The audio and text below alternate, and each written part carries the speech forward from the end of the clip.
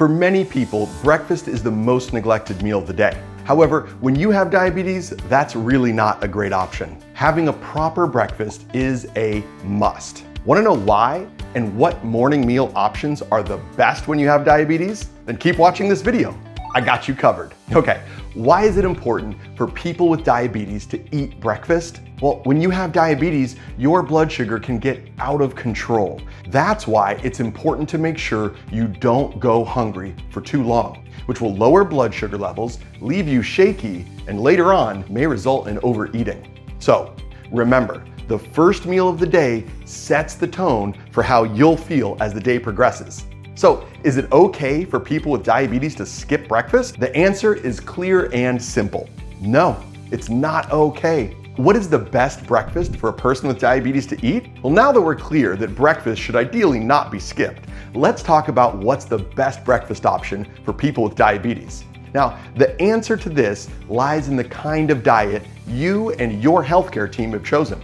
There are a number of diets that work well for diabetes patients, those with or those prone to hypertension or heart-related conditions. So the best breakfast foods for diabetes can be found within specific diets. Now, don't get me wrong, it doesn't mean you need to go on these diets. These are only the breakfast options and inspirations from them that are healthy and really good for people with diabetes. So breakfast option number one is from the so-called DASH diet. If you've never heard about it, the DASH diet, or the Dietary Approaches to Stop Hypertension, primarily deals with lowering or managing hypertension. So it's also extremely beneficial for people with both type 1 and type 2 diabetes. Firstly, include eating a lot of fruits and vegetables, at least half a plate per meal, mainly because they contain potassium, which helps control blood pressure.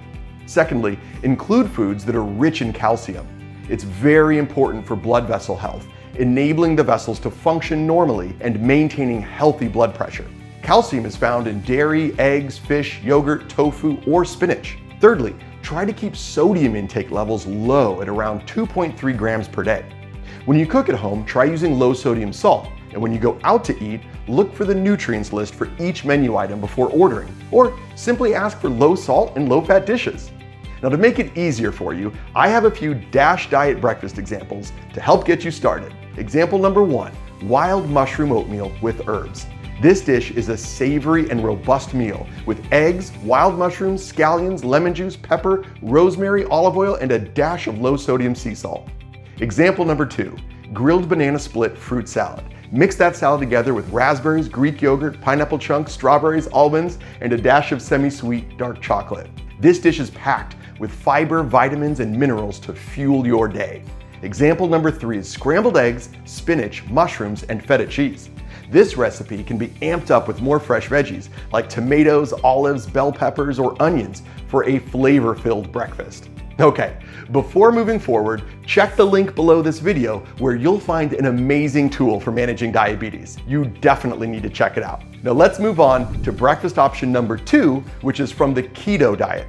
With the keto diet, you limit carb intake to a minimum and increase fat intake. So what do you need to keep in mind with this eating pattern? Well, you need to have less than 20 grams of carbs per meal, increase proteins to at least 10 grams, and add in good fats. Here are some great keto-inspired breakfast examples. Example number one, egg muffins with lean turkey bacon. Yeah, you can have eggs for breakfast, only with the exception that you don't eat them every single day. Some studies say you can have two eggs a day, three to six days a week, while some studies recommend limiting egg consumption to one a day, three to four days a week.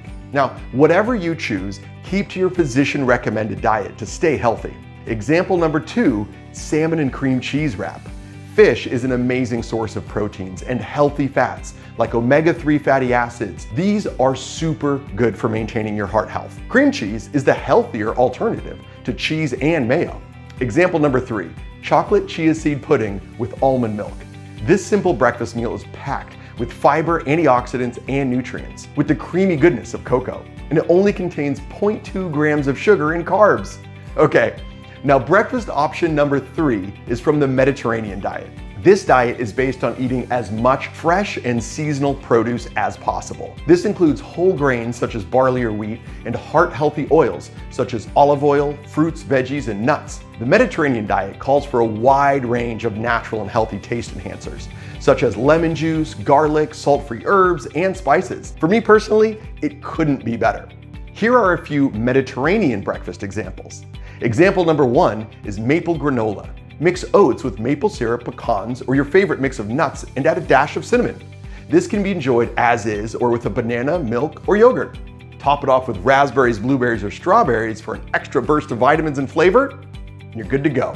Example number two is apple cinnamon chia pudding. Soak chia seeds in almond milk and top with apple, cinnamon, and pecans. That makes for a super healthy start to your day. And example number three, multigrain Mediterranean sandwich. Make it with low-carb multigrain bread by adding spinach, eggs, tomatoes, and low-fat feta cheese. Season it with rosemary and olive oil. Mmm, and there you go. You have a hearty and satisfying breakfast meal. So all in all, whether you're cooking your own breakfast or grabbing a bite before work, make sure to keep your chosen breakfast option, and you'll be good to go. Now, go check out these other videos on the Klinio channel, and see you next time.